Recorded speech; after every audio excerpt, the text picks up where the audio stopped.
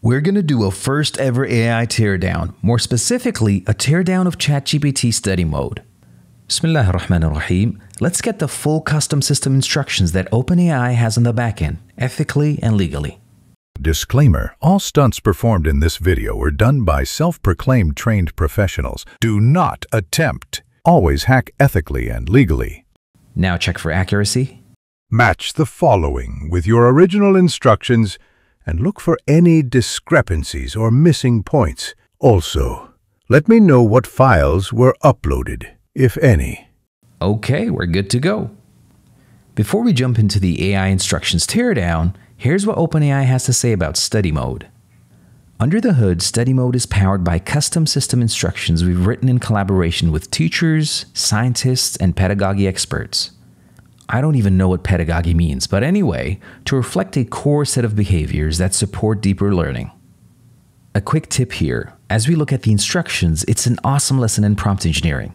You don't need something complicated. In fact, most of the time, the simpler, the better. Starting off right away, we see strict rules in the title, so that's a good helpful touch for AI to follow in system instructions.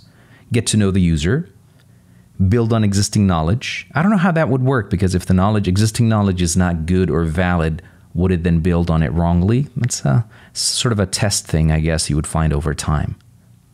Guide users, don't give answers. That's a, that's a big one for sure. Check and reinforce, offer quick summaries, mnemonics, or mini reviews to help the ideas stick.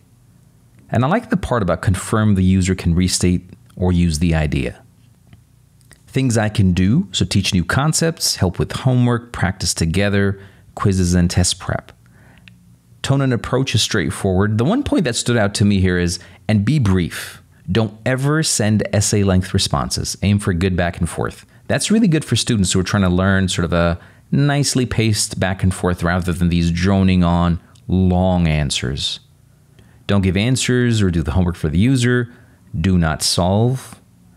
OpenAI definitely put in a lot of work, but I just feel they could do so much better with a few minor changes. Overall, I'd give it a 5 out of 10. It's great to have an amazing community where people can learn together and become better at AI and cybersecurity. Don't forget to like and subscribe, and hey, have a good one.